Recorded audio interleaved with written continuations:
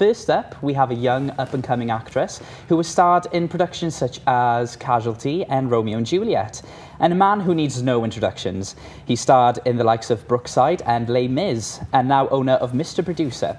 His name is Stephen Parry.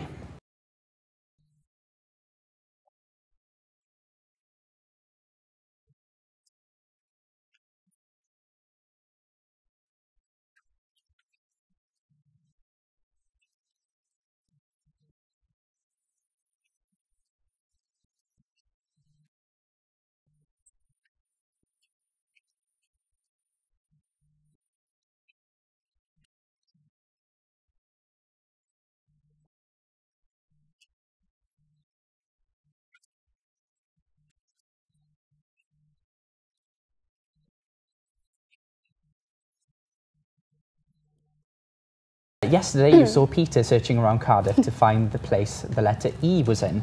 The crew and the team have been out last night and this morning to find the rest of the letters for you. And this is the result.